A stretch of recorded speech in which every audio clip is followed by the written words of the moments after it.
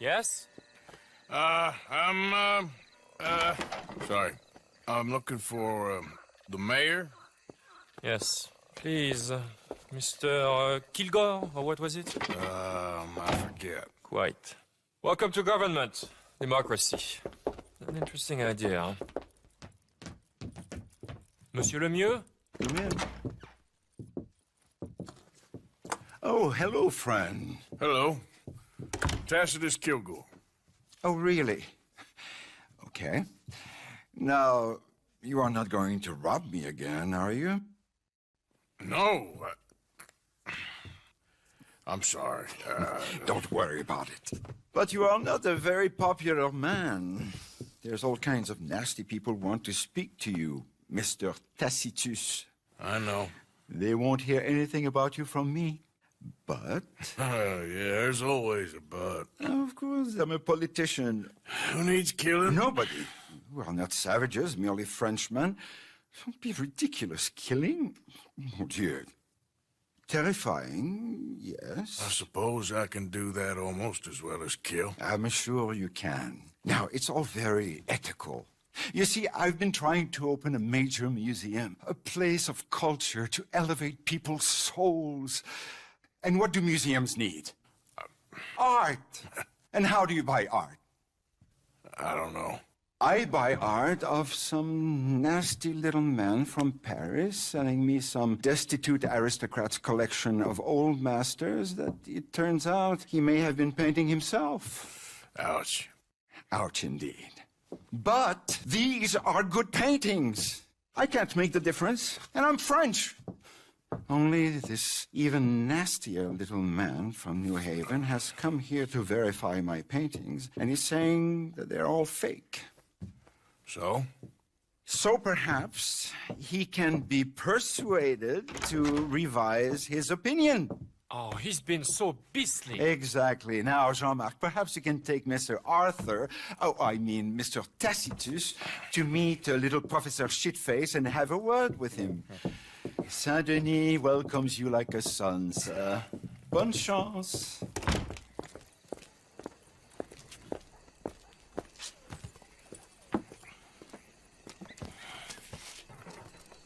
Come, sir, if you don't mind. The gallery is just at the end of this avenue. As I said, he is a beastly man, this professor. Believe me, friend, you ain't seen beastly yet. Not even close. You know, I thought we French had a monopoly on arrogance, but no. An overeducated American can be far, far worse. Luckily, there ain't too many overeducated Americans around. Yes, indeed. The mayor had such grand plans for our city and its people. We shall have true liberal democracy, working for the rich and the poor alike. It would be a travesty for this one man's opinion. Put that into jeopardy. Opinions can change, can they not? Oh, they change all the time. Of course. Power of reason is not to be underestimated. Reason. Well, that's one word for it. Good, good. You do not look so much like a rhetorician, but uh, Monsieur Lemieux has placed his faith in you. The gallery is just up ahead.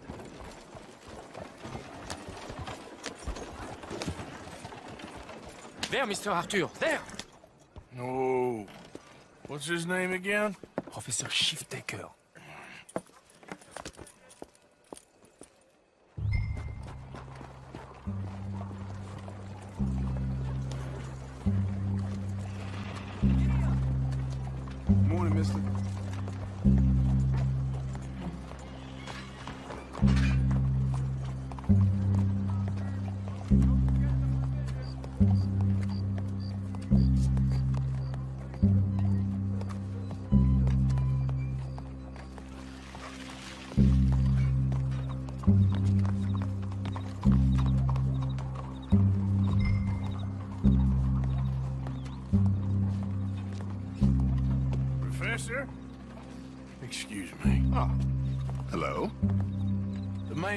Asked me to get a preview of your findings in there. The mayor knows very well what I've found. Every painting was a brazen fraud. That's a big claim. One that's gonna upset a lot of people. Myself included. I'm afraid that's just hard cheese. Now I've got a train to catch back to New Haven. Hold on. I see it's gonna take a fist in your face to persuade you. Oh, oh, wait, wait. I gotta punch you to change your mind. I, I couldn't. My reputation. You gonna think of your reputation when your brain is jelly? I, I'd never be published again.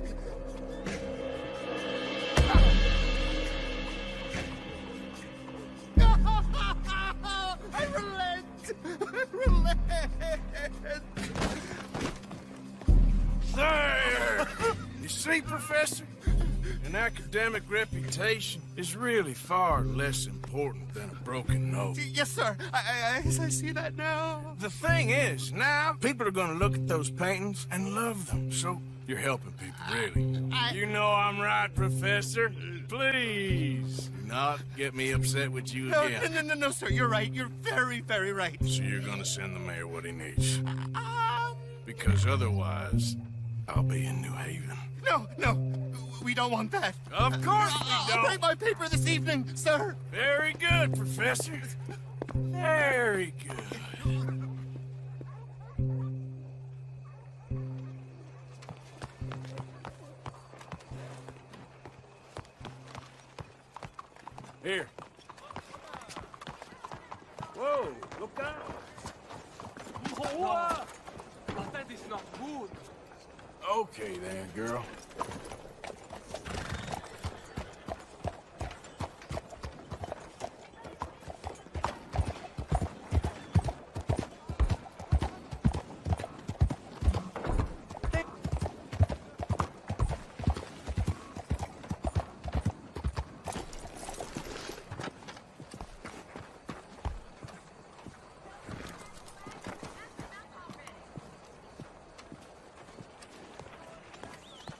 So, turns out, all those pains were real after all. Problem solved. Wonderful, wonderful. The mayor shall be so pleased. Sure. Was uh, Professor Shiftaker happy to change his mind? He wasn't initially, but uh, he came around in the end. Oh, my lord.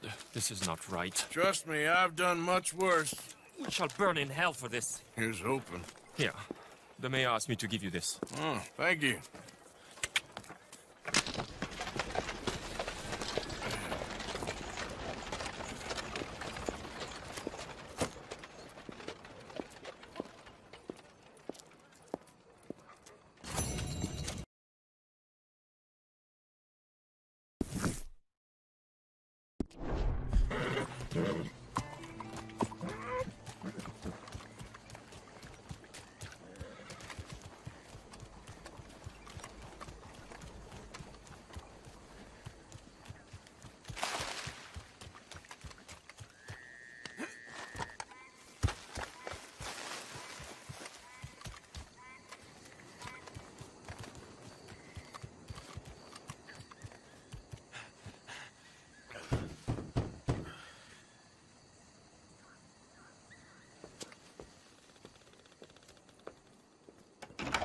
Oh, it's you.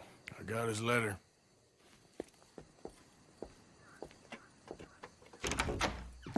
Ah, Mr. Arthur, Sir? education is the most wonderful thing. It'll raise us higher and higher. Make civics and ethics less a work of uh, dirty minded pragmatists like me, and the calling of higher, better men. Here, here.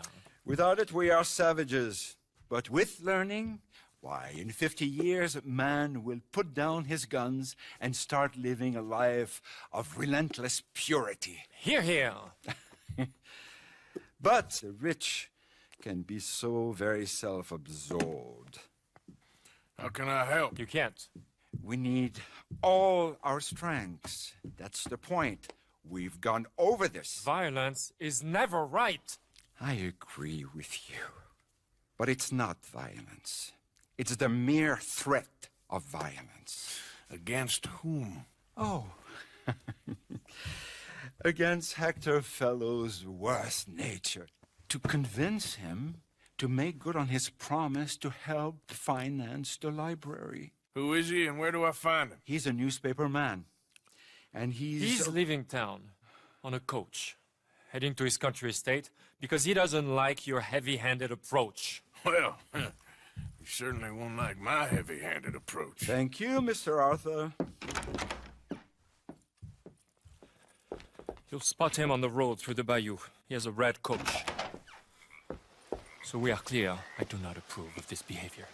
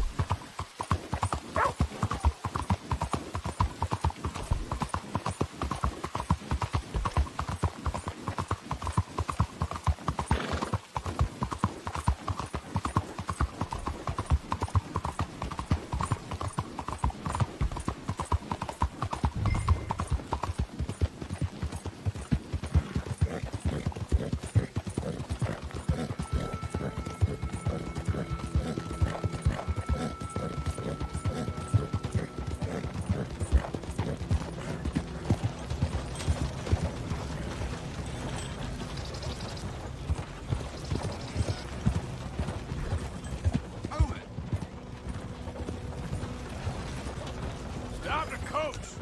Who the heck are you? Just going to talk to your passenger a moment. When I get in, you carry on. What the hell do you want? Mr. Fellowes, ain't it? Charity, sir. And an appeal to your better nature. This is most impudent. Oh, no, it's not most impudent, trust me, buddy.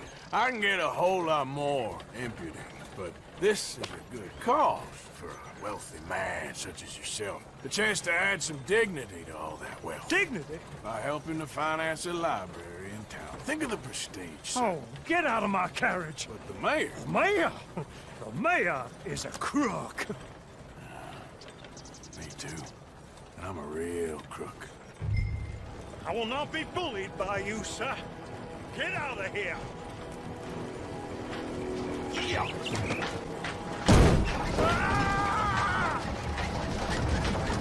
I'm sorry, was that? Yes, I'd like to finance the library for the common good. Ah! I didn't. Ah! What was that? Ah! Please! All right! All right!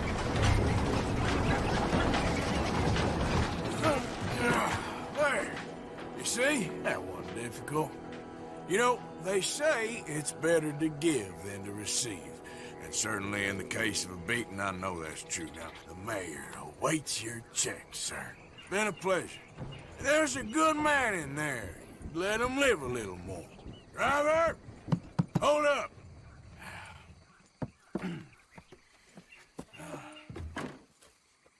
As you were. Drive on!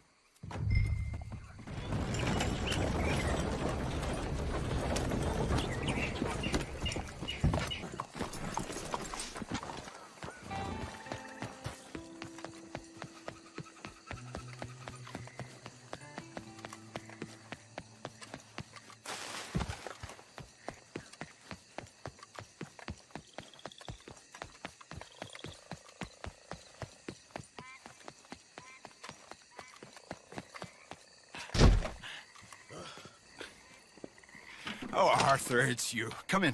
Where's what's his name? Jean-Marc, he's a little histrionic. I'm worried that he's going to open his mouth and say things that aren't true to those vulgar Puritans at the newspaper. Well, perhaps true, but not the whole truth. Ah, Look at these beautiful books.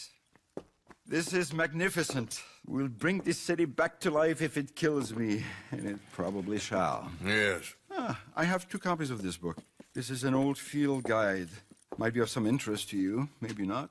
But please have it. It's worth quite a bit. Thank you. My pleasure.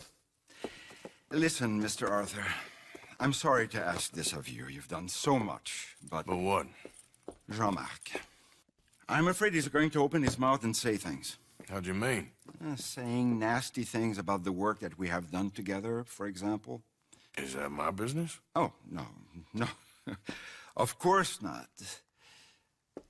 He also found out some unsettling news about you. It's all scurrilous lies, of course.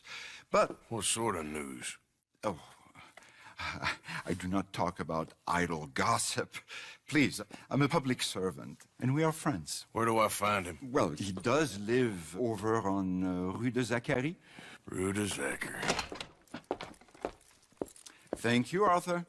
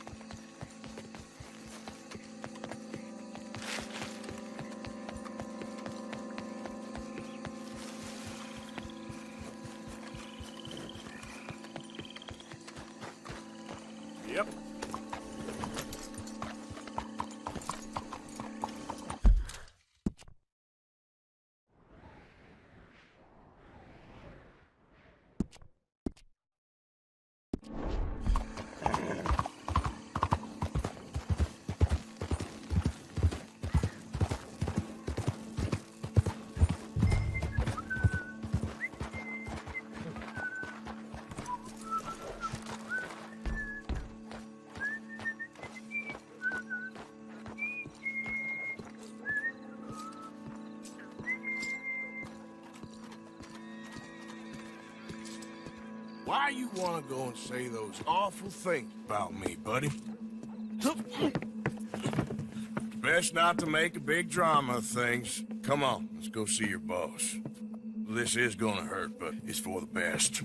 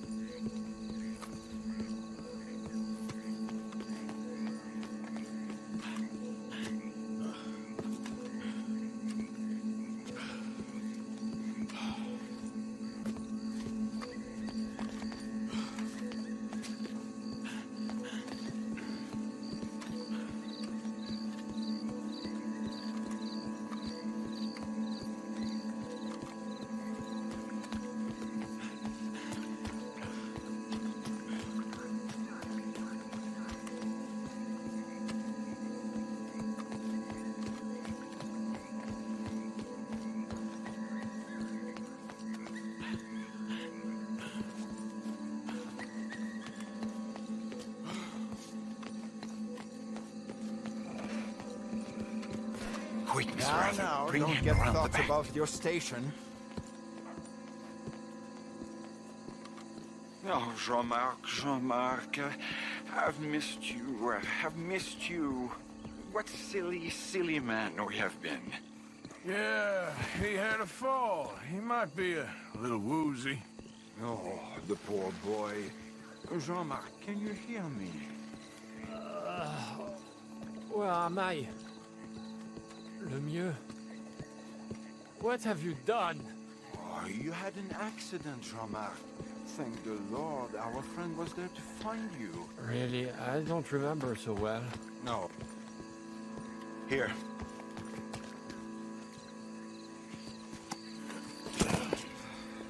My brother, my brother, Jean-Marc. Oh, we've been so... I promised to change. I know. Ah, what a silly, silly misunderstanding. You see, the problem is principles will destroy us all. Sure. As long as you two are friends again. Yes. And you say you've changed, so we will run the city like men of honor, like you said. Uh, of course, of course. We, we will strive to improve the city's moral backbone by any means available to us. Within reason, yes. Yes, yes. Within my reason. Because I'm the mayor, Jean-Marc. And I will save you from yourself.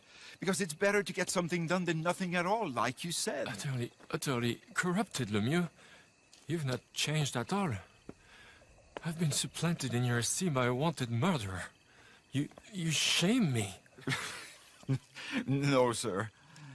You shame me with your vain naivete. Oh, how I long for the luxury to have principles such as you. But I must actually do things.